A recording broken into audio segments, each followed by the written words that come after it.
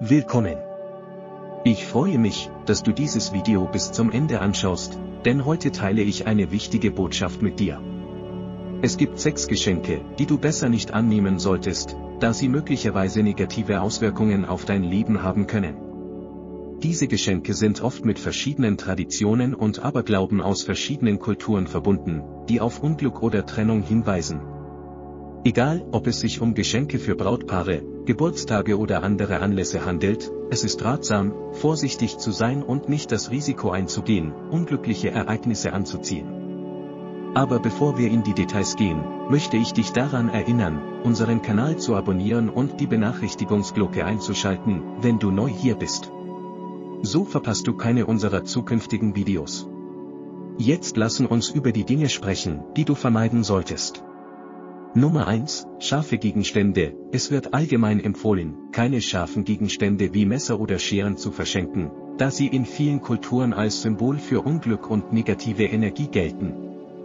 Nummer 2, Geschenke, die dir zuvor gegeben wurden. Das erneute Verschenken eines Geschenks, das du bereits erhalten hast, ist oft keine gute Idee, insbesondere wenn es um einen neuen Partner geht. In einigen Überlieferungen kann dies die Verbindung zwischen dem Schenkenden und dem Beschenkten negativ beeinflussen. Nummer 3. Taschentücher. Schals und Taschentücher gelten in einigen Kulturen als schlechtes Omen, da sie angeblich Unglück anziehen können. Das Verschenken eines Schals an deinen Partner könnte beispielsweise zu Problemen in eurer Beziehung führen. Nummer 4. Ornamente mit Tierskeletten. Es ist ratsam, Ornamente zu vermeiden, die Tierskelette darstellen, da sie in verschiedenen Kulturen negative Schwingungen und Energiestagnation symbolisieren. Nummer 5. Uhren. Obwohl Uhren oft als normale Geschenke angesehen werden, vermeiden einige Kulturen das Verschenken von Banduhren oder Armbanduhren, da sie den Lauf der Zeit symbolisieren und auf eine begrenzte Lebensdauer für die Beziehung hinweisen könnten. Nummer 6. Glocken. Glocken, sei es stimmliche oder in Form von Klappern, können Freude bereiten, aber in einigen Kulturen sind sie mit Unglück verbunden. Nach keltischer Tradition erschrecken Glocken böse Geister und können Unglück bringen.